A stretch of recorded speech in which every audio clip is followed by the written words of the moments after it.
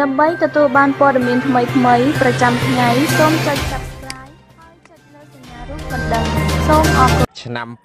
2017គឺជាឆ្នាំប្រវត្តិសាស្ត្រមួយ នៅ ក្នុងបរិបទនយោបាយនៅប្រទេសកម្ពុជា ដែលរឿងមិនគួរកើតឡើង បានកើតឡើងពេញបន្ទុកទៅហើយនិងដោយចំហថែមទៀតផងរឿងរ៉ាវដែលកើតឡើងទាំងនេះ មួយភាគធំប៉ះពាល់យ៉ាងខ្លាំងទៅដល់ដំណើរការប្រជាធិបតេយ្យសិទ្ធិមនុស្ស និងមុខមាត់ប្រទេសកម្ពុជា លើឆាកអន្តរជាតិដូចជាការធ្វើច្បាប់ដើម្បីធ្វើទុកបុកម្នេញគណៈបកប្រឆាំងការចាប់ខ្លួនប្រធានគណៈបកសង្គ្រោះជាតិលោកកឹមសុខា ការយកកៅអីស្របច្បាប់របស់តំណាងរាជគណៈបកប្រឆាំងទៅចែកគ្នា ការបំបិតសម្លេងប្រព័ន្ធផ្សព្វផ្សាយឯករាជ្យនិងអង្គការសង្គមស៊ីវិលជាដើម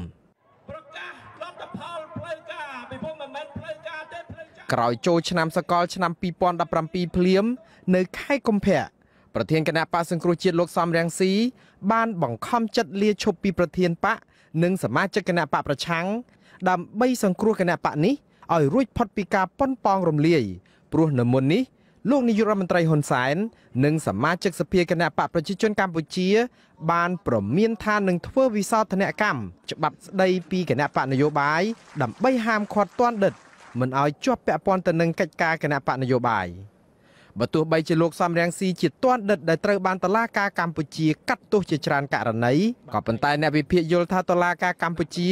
គ្មានឯករាជ្យនិងកាត់ក្តីទៅតាមតែឥទ្ធិពលរបស់អ្នកមានអំណាច ដើម្បីធ្វើទុកបុកម្នេញគណៈបកប្រឆាំងតែប៉ុណ្ណោះប៉ុន្តែលោកសំរងស៊ីបានប្រកាសចូលជាសមាជិកគណៈបកសង្គ្រោះជាតិវិញ ក្នុងខែវិច្ឆិកាសូមអញ្ជើញទ្វេចំហហើយពីមុនខ្ញុំគិតសវត្ថិភាពលោក តែឥឡូវដោយសារលោកថាមកភ្លាមមកភ្លាមខ្ញុំក៏អុកភ្លាមនោះ5ខែមុននេះលោកហ៊ុនសែនបានបង្គាប់ឲ្យរដ្ឋាភិបាលដកបំរាមដែលហាមលោកសំរងស៊ីមិនឲ្យចូលស្រុកចេញវិញបំរាមនេះដាក់តាំងតែពីខែតុលាឆ្នាំ2016មកម្លេះក៏ប៉ុន្តែនៅក្រៅការលើកបំរាមនេះភ្លាមលោកហ៊ុនសែនបែរជាប្រមានបើកទ្វារគុករងចាំលោកសំរងស៊ីភ្លាមដែរ ឥឡូវខ្លួនបានសន្យាថាមកមិនខ្លាចគុកទេមិនក៏មិនមករកគុកខ្ញុំឲ្យមកខ្ញុំឥឡូវអត់ខ្ញុំអត់ខ្វល់ទេប៉ុន្តែបើសិនជាអ្នកឯងបកគលខ្លួនឲ្យចាប់ដោយស្រួលវាអត់មានបញ្ហាឲ្យកើតឡើងទេមកតាមគោកក៏មិនបានមកតាមទឹកក៏មិនបានមកមកមកមកសេរីមកទឹកក៏បានគោកក៏បានស្អីក៏បានចូលមកបើចូលមកបើចូលមកលួចនេះគឺវាស្មើនឹងពេលវកម្មទេ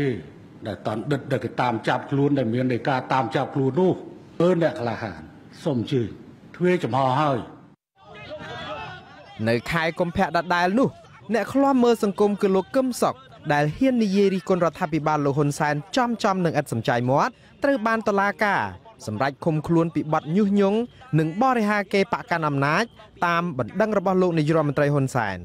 លោកហ៊ុនសែនទាមទារសំណងជំងឺចិត្តចំនួន50ម៉ឺនដុល្លារនិងប្រមានរឹបអូសទ្រព្យសម្បត្តិលោកកឹមសុខថែមទៀតផងស្អីអ្នកឯងបញ្ចេញមកទេហោះទេទាកន្លះលានដុល្លារហើយបើអ្នកឯងមិនចង់ឲ្យរឹបអូសទ្រព្យសម្បត្តិដើម្បីលក់ឡៃឡុងទេអ្នកឯងយកលុយមកសងមក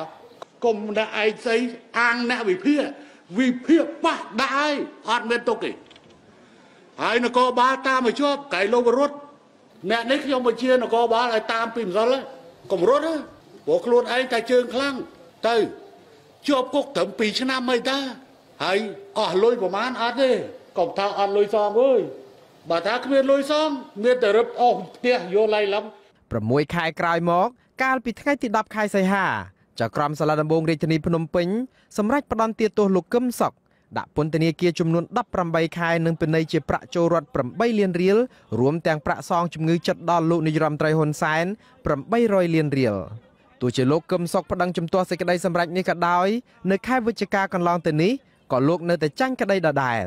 អង្គការមិនមែនរដ្ឋាភិបាលផ្នែកសិទ្ធិមនុស្សយល់ឃើញថាក្នុងរឿងក្តីនេះបើទោះជាត្រូវឡើងទៅដល់តុលាការកំពូលទៀតក៏មិនអាចឈ្នះក្តីបានដែរឥឡូវ5ទៅប្រសាក់ដូរឲ្យលឿន កាលពីខែកុម្ភៈនោះដែរលោកនាយរដ្ឋមន្ត្រីហ៊ុនសែនបានបញ្ជាឲ្យគ្រឹះស្ថានមីក្រូហិរញ្ញវត្ថុធំធំ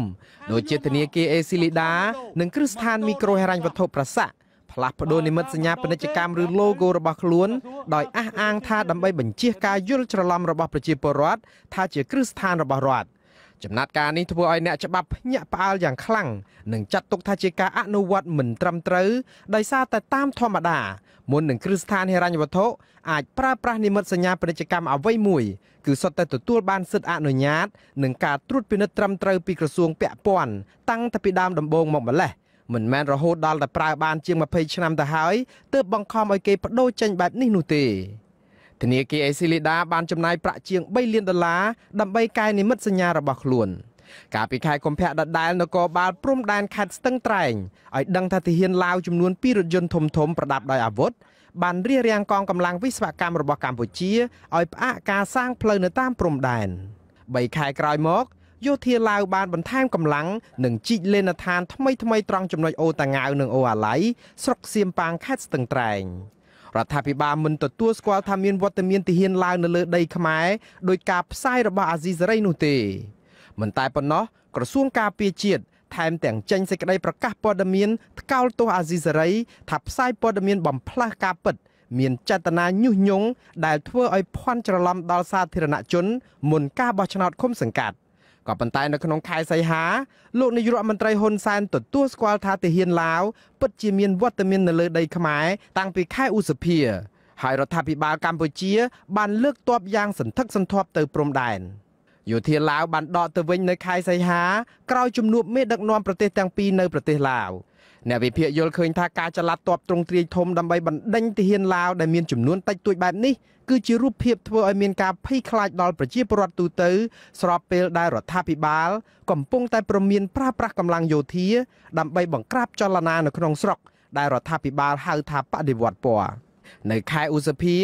អង្គការអន្តរជាតិនៅទីក្រុងឡុងប្រទេសអង់គ្លេសឈ្មោះទីភ្នាក់ងារស៊ើបអង្កេតបរិស្ថានឬ EIA បានចេញរបាយការណ៍មួយដោយក្រុមស៊ើបអង្កេតរកឃើញថាមន្ត្រីអាជ្ញាធរពុករលួយនៃប្រទេសកម្ពុជានិងប្រទេសវៀតណាមបានទទួលយកប្រាក់សំណូករាប់លានដុល្លារសហរដ្ឋអាមេរិក ពីឈ្មួញឈើជាធ្នូឲ្យកាប់ព្រៃឈើនៅក្នុងតំបន់អភិរក្សនៅក្នុងប្រទេសកម្ពុជាដូចជានៅតំបន់ឧទ្យានជាតិវីរៈជ័យហើយអនុញ្ញាតឲ្យនាំឈើខុសច្បាប់ចេញទៅប្រទេសវៀតណាមរួមទាំងជួយប្រែក្លាយឈើខុសច្បាប់ទាំងនោះឲ្យទៅជាឈើស្របច្បាប់វិញលោកនាយករដ្ឋមន្ត្រីហ៊ុនសែនធ្លាប់សន្យាជាសាធារណៈថាបើគាត់ទប់ស្កាត់ការកាប់បំផ្លាញព្រៃឈើមិនបានទេគាត់ហ៊ានកាត់ក្បាលគាត់ក្រវត្តចោលសុំសាកលោមើលទៅបើមិនគោរពក៏សុំសាក បើមិនដកយកព្រៃបិទរោងចក្រទេខ្ញុំហ៊ានកាត់កកខ្ញុំក៏វត្តចោល ក៏ប៉ុន្តែមន្ត្រីជាន់ខ្ពស់ផ្នែកព្រៃឈើនៃអង្គការទីភ្នាក់ងារស៊ើបអង្កេតបរិស្ថាន EIA ផ្ដាំទៅលោកនាយរដ្ឋមន្ត្រីហ៊ុនសែនកុំឲ្យសម្លាប់ខ្លួនបើទោះបីជាខកសន្យារឿងទប់ស្កាត់ការកាប់បំផ្លាញព្រៃឈើមិនបានព្រោះអង្គការរបស់លោកនៅតែរកឃើញការកាប់បំផ្លាញព្រៃឈើនិងនាំឈើចេញពីប្រទេសកម្ពុជាទៅប្រទេសវៀតណាមរាប់សែនម៉ែត្រគីបនៅក្នុងអំឡុងពេលដែលរដ្ឋាភិបាលប្រកាសថាបានហាមឃាត់ការនាំឈើចេញទៅក្រៅប្រទេស ការបោះឆ្នោតក្រុមប្រឹក្សាគុំសង្កាត់ត្រូវបានរៀបចំឡើងនៅខែមិថុនាការបោះឆ្នោតលើកនេះគឺជាលើកទី1នៅក្នុងប្រវត្តិសាស្ត្រដែលលោកហ៊ុនសែនចេញឃោសនាដោយផ្ទាល់និងជួលទូរទស្សន៍ក្នុងស្រុកយ៉ាងហោចណាស់8ប៉ុស្តិ៍ដើម្បីឲ្យផ្សព្វផ្សាយបន្តផ្ទាល់យុទ្ធនាការឃោសនាបោះឆ្នោតនេះនេះក៏ជាការបោះឆ្នោតលើកទី1ដែលមានការរឹតបន្តឹងនៅក្នុងការដង្ហែក្បួនឃោសនា ជាលទ្ធផលគណៈបកសង្គ្រោះជាតិជាប់ឆ្នោតដើម្បីគ្រប់គ្រងឃុំសង្កាត់489ឃុំសង្កាត់នៅទូទាំងប្រទេសនិងជាប់ជាសមាជិកក្រុមប្រឹក្សាឃុំសង្កាត់ចំនួន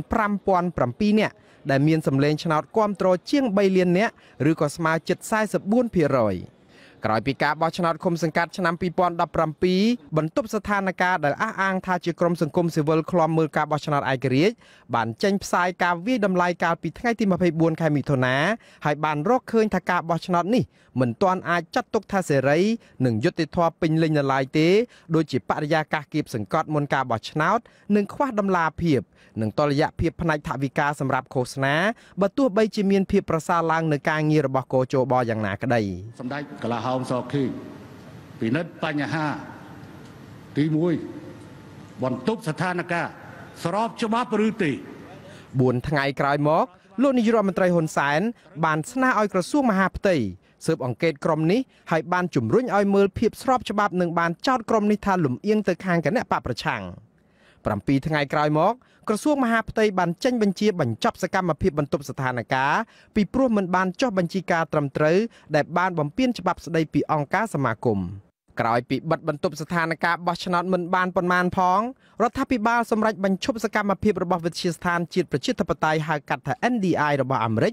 និងបណ្ដេញបុគ្គលិកបរទេសរបស់វិទ្យាស្ថាននេះចេញពីប្រទេសកម្ពុជានៅខែសីហាដោយចោទថាអង្គការនេះ រៀបចំយុទ្ធសាស្ត្រជួយបកប្រឆាំងដើម្បីផ្ដួលរំលំបកកណ្ដាលអំណាចក៏ប៉ុន្តែអង្គការ NDI បដិសេធថាខ្លួនមិនបានលំអៀងទៅរកគណៈបកនយោបាយណាមួយឡើយនៅក្នុងការបំពេញមុខងាររបស់ខ្លួននៅកម្ពុជាអង្គការ NDI អះអាងថាពួកគេជាស្ថាប័នឯករាជ្យមិនលំអៀងនិងជាដៃគូរបស់គ្រប់គណៈបកនយោបាយទាំងអស់មិនថាគណៈបកកណ្ដាលអំណាចឬក៏គណៈបកប្រឆាំងនោះឡើយអាមេចោអត់បងពួនឲ្យរត់ អភិបត្តិអង្គការ NDI រដ្ឋាភិបាលបានបង្គាប់ឲ្យសារព័ត៌មាន The Cambodia Daily ដែលជាសារព័ត៌មានឯករាជ្យបង់ពន្ធជាង6លានដុល្លារសហរដ្ឋអាមេរិកដែលរដ្ឋាភិបាលអះអាងថាស្ថាប័នសារព័ត៌មាននេះជំពាក់ជាង10ឆ្នាំហើយ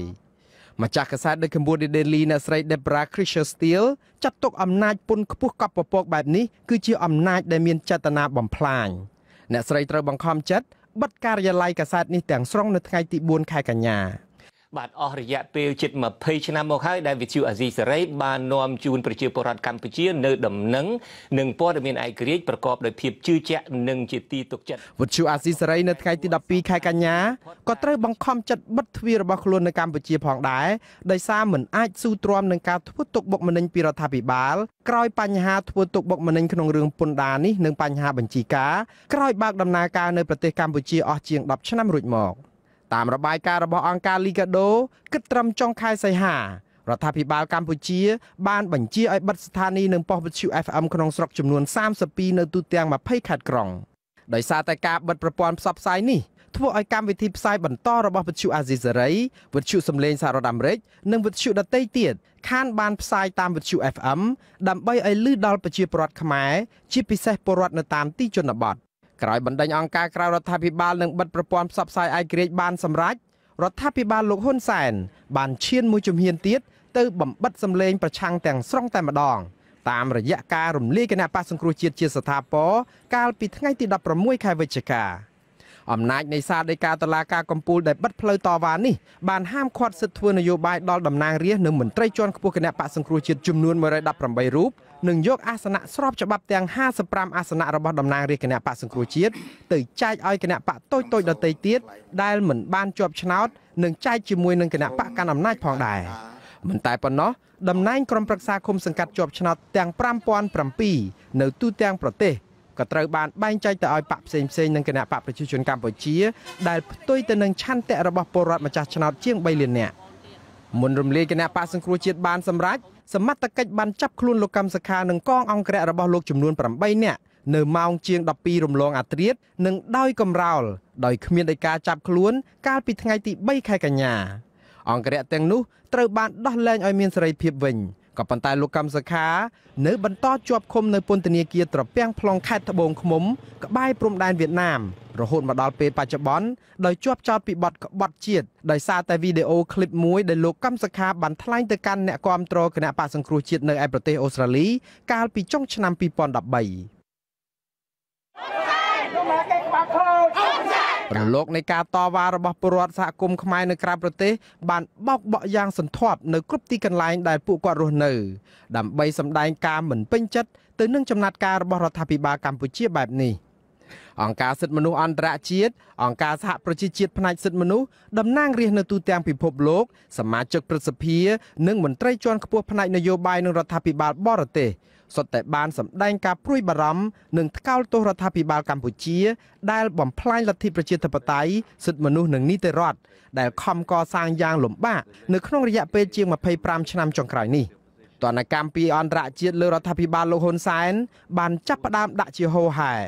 សហរដ្ឋអាមេរិកនិងសហគមន៍អឺរ៉ុបបានកាត់ផ្តាច់ជំនួយផ្នែកបោះឆ្នោតនិងពន្លឿនចំណាត់ការដាក់ទណ្ឌកម្មលើរដ្ឋាភិបាលកម្ពុជាបន្ថែមទៀត។ រដ្ឋាភិបាលក្រុង Washington បានសម្រេចបិទទិដ្ឋាការដល់មន្ត្រីជាន់ខ្ពស់នៃរដ្ឋាភិបាលកម្ពុជានិងក្រុមគ្រួសារដែលមានជាប់ពាក់ព័ន្ធទៅនឹងការរំលោភសិទ្ធិមនុស្សនិងការបំផ្លាញលទ្ធិប្រជាធិបតេយ្យមិនឲ្យជន់ដីសហរដ្ឋអាមេរិកឥឡូវនេះសហរដ្ឋអាមេរិកកំពុងតែស្រង់បញ្ជីឈ្មោះបុគ្គលមន្ត្រីរដ្ឋាភិបាលនិងក្រុមហ៊ុនសជីវកម្មដើម្បីឈានទៅបង្កកនិងរឹបអូសទ្រព្យសម្បត្តិហើយបញ្ឈប់កិច្ចសន្យាពាណិជ្ជកម្មព្រមទាំងផ្អាកការអនុគ្រោះពន្ធនាំចេញផលិតផលពីកម្ពុជាទៅទីផ្សារអាមេរិកផងដែរ ទាំងសហគមន៍អឺរ៉ុបនិងសហរដ្ឋអាមេរិកសុទ្ធតែបញ្ជាក់ជំហរយ៉ាងច្បាស់លាស់ណាស់ថាចំណាត់ការដាក់ទណ្ឌកម្មនេះគឺដោយសារតែទង្វើរំលោភសិទ្ធិមនុស្សនិងបំផ្លាញប្រជាធិបតេយ្យយ៉ាងធ្ងន់ធ្ងរដែលរដ្ឋាភិបាលលោកហ៊ុនសែនបានប្រព្រឹត្តមកលើគណៈបកប្រឆាំងអង្គការសង្គមស៊ីវិលនិងប្រព័ន្ធផ្សព្វផ្សាយឯករាជ្យនៅកម្ពុជានេះឯងសហគមន៍អន្តរជាតិនៅតែអំពាវនាវឲ្យរដ្ឋាភិបាលកម្ពុជា ពិចារណាឡើងវិញឲ្យបានឆាប់ដើម្បីស្ដារស្ថានភាពដុនដាបបច្ចុប្បន្នឲ្យវិលទៅរកភាពល្អប្រសើរឡើងវិញ ដើម្បីបើកផ្លូវឲ្យមានការបោះឆ្នោតមួយដោយសេរីត្រឹមត្រូវនឹងយុត្តិធម៌និងមានការចូលរួមពេញលេញពីគណៈបកប្រឆាំងអង្គការសង្គមស៊ីវិលនិងប្រព័ន្ធផ្សព្វផ្សាយឯករាជ្យនឹងត្រូវដោះលែងលោកកម្មសខានិងអ្នកទស្សនយោបាយដទៃទៀតជាបន្ទាន់ដោយឥតលក្ខខណ្ឌបើមិនចង់ឲ្យមានទណ្ឌកម្មបែបនេះនោះទេខ្ញុំបាទមួងណារ៉េតអាស៊ីសេរីរដ្ឋធានី Washington